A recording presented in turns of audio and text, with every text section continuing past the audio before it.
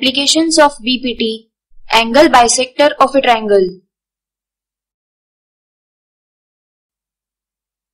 Dear students, basic proportionality theorem is used to prove the statement.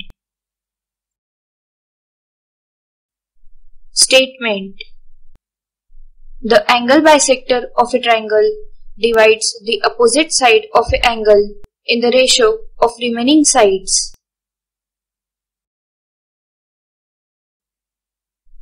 Given Consider triangle ADC. In this triangle, ray BD bisects angle ADC. That is, angle ADB is equal to angle BDC, which is equal to half into angle ADC. To prove we have to prove that AB divided by BC is equal to AD divided by DC. Construction In order to prove the stated relation, let us do some constructions. First, draw a line CF parallel to BD. Second, now extend AD so as to intersect CF at point E. Proof Line BD is parallel to CE. Therefore, angle ADB is equal to angle DEC as these are corresponding angles. This is relation 1.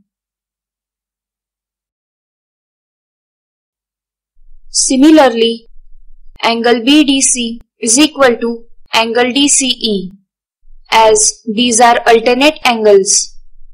This is relation 2. But we are given that angle ADB is equal to angle BDC. This is relation 3. So, from 1, 2 and 3, we get angle DEC is equal to angle DCE. Now, in triangle DEC, as angle DEC is equal to angle DCE, therefore side DE is equal to DC because side opposite to equal angles of a triangle are equal. This is relation 4. Now, consider triangle AEC in which BD is parallel to CE. So, by basic proportionality theorem, AB divided by BC is equal to AD divided by DE. But as DE is equal to DC, therefore AB divided by BC is equal to AD divided by DC.